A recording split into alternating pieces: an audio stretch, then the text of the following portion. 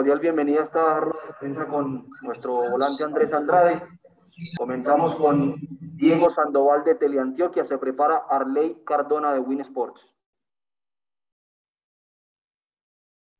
Pero veo que no está conectado Diego. Dale Arley entonces y se prepara Johnny Gutiérrez. Muy bien, muchachos. Gracias, David y Juan. Placer saludar a Andrés y a todos los muchachos, a todos los compañeros. Bueno, Andrés, eh, ¿Ya cuánto tiempo ha pasado de entrenamientos individuales? Quedan escasamente, creo que dos semanas larguitas para comenzar la liga. Va a ser justo el tiempo, si llega esta tarde la autorización de los entrenamientos grupales, de ponerse a punto grupalmente, colectivamente, tácticamente, para comenzar a ver ya cosas importantes en Atlético Nacional. Muy buenos días, Andrés. Arley, ¿cómo estás? Eh, escuchaba lo que estabas comentando ahí con todos tus colegas y creo que estaba más sorprendidos nosotros que usted de que esto se haya demorado tanto. Llevamos dos meses entrenando, cinco meses de pandemia y no han podido solucionar el, el retorno de nuestro, de nuestro fútbol. Como tú dices, faltan dos semanas, pues eso lo sabes tú, porque nosotros no sabemos cuántas semanas faltan en realidad y, nosotros estamos ansiosos de jugar, de que nos dejen por lo menos interactuar entre nosotros. Ya el temor un poco ha pasado porque pues hemos seguido haciendo pruebas, los compañeros han estado cuidando y hemos salido limpios. Pregunta Johnny Gutiérrez. Se prepara José Luis Alarcón de ESPN. Gracias, David. Eh, ¿Podría uno resumir, Andrés, que, que hay cierta desazón? Porque es que todos los días hay una incertidumbre distinta o nos imaginábamos que hoy ya todo el mundo iba a estar entrenando de manera colectiva y pues nos enteramos que todavía no. Y además eh, hay muchos temas que todavía no se definan como para que el inicio sí se dé realmente en la fecha que se conoce. Hola Johnny. Sí, pues eh, ah, tú dijiste la, la palabra de sazón, tristeza, preocupación de cómo se ha manejado todo este tema en la rueda de prensa pasada que tuve antes de que nos dieran reinicio individual, te lo dije, nos demoramos mucho para, para tomar decisiones, no sé a quién se deba eso.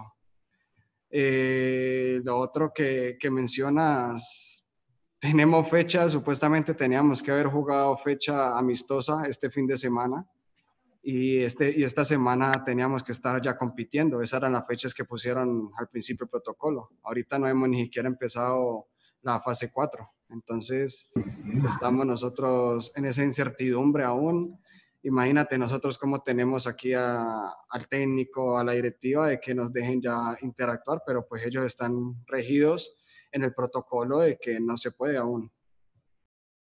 Pregunta José Luis Alarcón de ESPN, se prepara Juan Diego Charri de Deportes Chicho de Tancur. Hola Andrés, ¿qué tal? Un abrazo grande, saludo para todos los colegas. Andrés, en el discurso se nota no solamente desazón, sino también decepción, pero sí quisiera saber al interna, el grupo, cómo lo maneja, cómo hacen para encontrar, tras casi ocho semanas de prácticas en específico, individual, un aspecto motivacional, por lo menos para sentir que eso está más cerca de arrancar que lejos, aunque lo que usted manifiesta es bastante claro, ¿no? Hoy esperábamos que tuviéramos la noticia siquiera de las prácticas grupales y no, de momento todo sigue de carácter individual.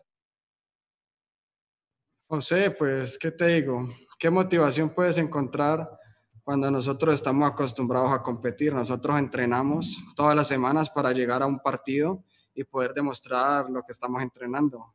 Hemos estado pegándole a un cajón dos meses. Imagínate cómo nos sentimos nosotros. Imagínate nosotros queremos trabajar porque ese es el trabajo de nosotros y no nos han dado la oportunidad de trabajar porque pues estarle pegando un cajón no es fútbol. Estamos trabajando individualmente, pero eso no es fútbol. Pregunta Juan Diego Charri de Deportes Chicho de Tancur, se prepara Juan Pablo Erazo de Babel.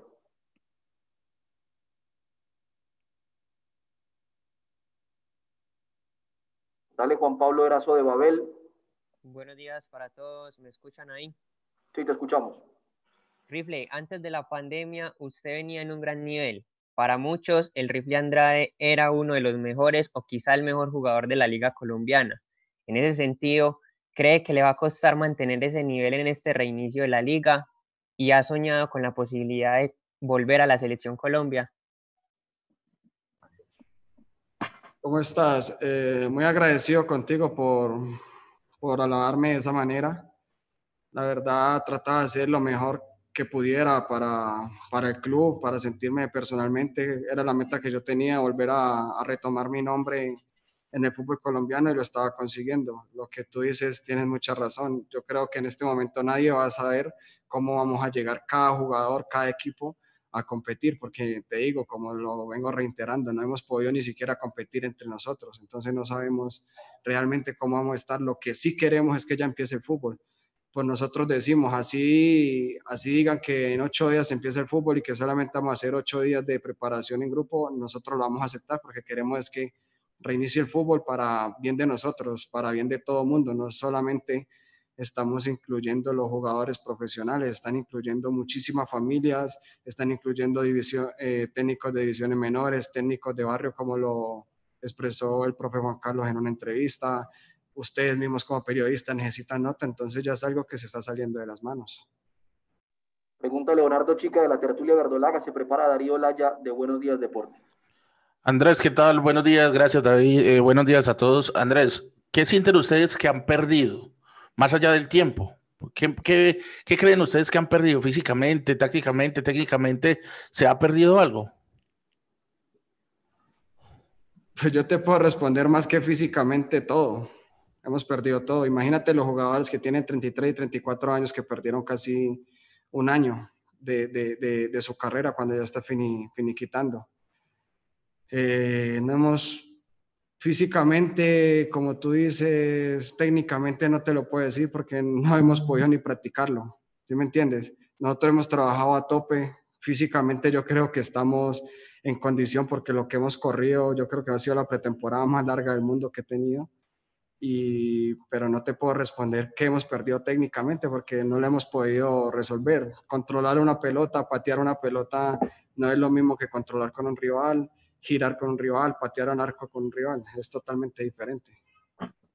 Pregunta Darío Laya de Buenos Días, Deporte de Mundo Isman Radio. Se prepara Haider Escobar de Minuto 30. Gracias, David. El saludo cordial para usted, para los colegas y, por supuesto, para eh, Andrés. Eh, Andrés, ¿qué análisis eh, puede hacer de regreso, especialmente en el plano internacional con la Copa Sudamericana? Digamos que la ventaja es que Nacional eh, todavía no va a volver a la Sudamericana hasta que se juegue la totalidad de la fase de grupos de la Copa Libertadores, lo cual puede demorar varias semanas. Y eh, pensando en los rivales en Sudamérica, pues vemos que solamente están activos los equipos ecuatorianos, los equipos paraguayos y los brasileños. Eh, ¿Podría Nacional todavía tener tiempo para prepararse de la mejor forma y poder afrontar con relativo buen nivel eh, la Copa Internacional, en este caso la Sudamericana.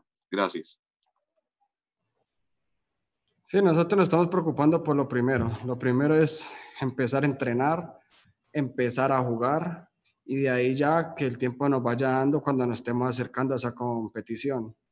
Pero aquí tenemos que pensar no solamente nacional, tenemos que pensar en el fútbol colombiano.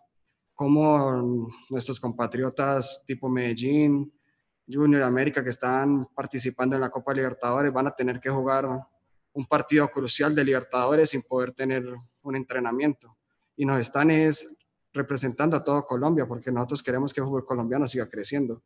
Ya nos tocará nuestro turno en en la suramericana, pero pues ahí te abono, inclusive hasta el fútbol peruano también ya empezó. creo que lo único que ha empezado es el argentino, el uruguayo y nosotros. Entonces, e, es, es, algo difícil, inclusive otros países que tuvieron la pandemia más fuerte y ya empezaron a jugar fútbol. Pregunta Haider Escobar de minuto 30, se prepara Juan, Juan Camilo Álvarez de Fútbol Red. Gracias David, un saludo para Andrés, para todos los colegas. Andrés, esta semana le preguntaron a Harlan Barrera qué pensaba de compartir terreno con usted y hablaba de la cercanía que tiene con usted dentro y fuera del campo. ¿Usted se siente bien? ¿Siente que compaginan los dos dentro de la cancha en un mismo partido?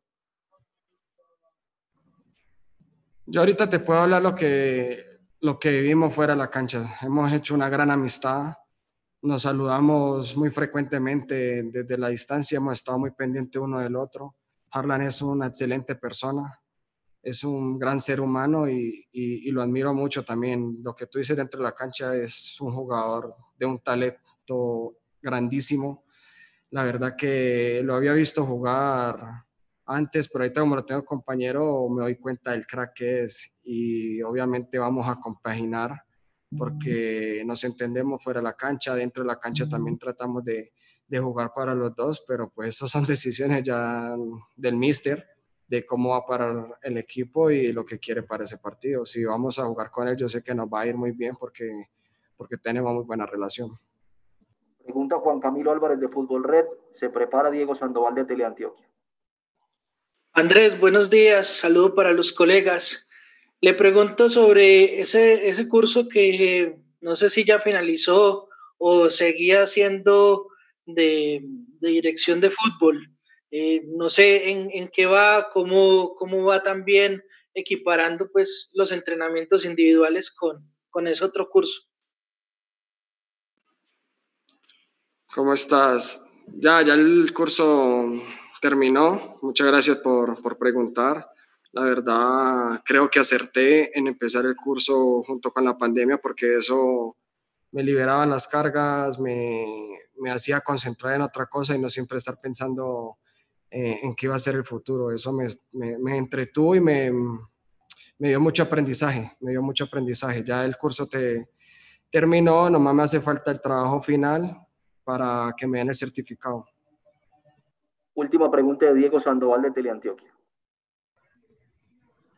Hola, buenos días a todos. Un saludo cordial. Andrés, eh, mi pregunta ya viene, lo más probable en dos semanas o menos, el reinicio del fútbol pero obviamente va a ser de una alta intensidad competitiva por el tiempo para poder finalizar.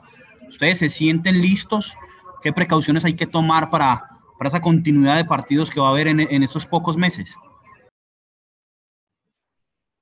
¿Cómo estás? Físicamente te puedo decir que estamos listos, estamos totalmente listos, pero lo que te decía es muy diferente estar corriendo anaeróbica y aeróbicamente en una cancha a ya luego competir, a ir a chocar, a ir a frenar, a ir a aguantar una pelota, te exige diferente y eso es lo que vamos a tener que hacer durante el torneo, ir practicando eso. Nacional tiene grandes jugadores, grandes atletas y vamos a competir de una excelente manera. Tenemos un equipo, gracias a Dios, creo que vasto para poder competir en, en todas las competiciones, valga la redundancia y estar a la altura, estar a la altura. Yo creo, como lo dije antes, que el sistema que maneja el Mister nos va a ayudar mucho porque sabemos ya eh, la rotación nos va a dar descanso y nos va a tener siempre el mejor once posible y eso nos va a dar los resultados. Como siempre lo hemos dicho, Nacional tiene que pelear por todo el torneo que juegue. Vamos a pelear y tratar de,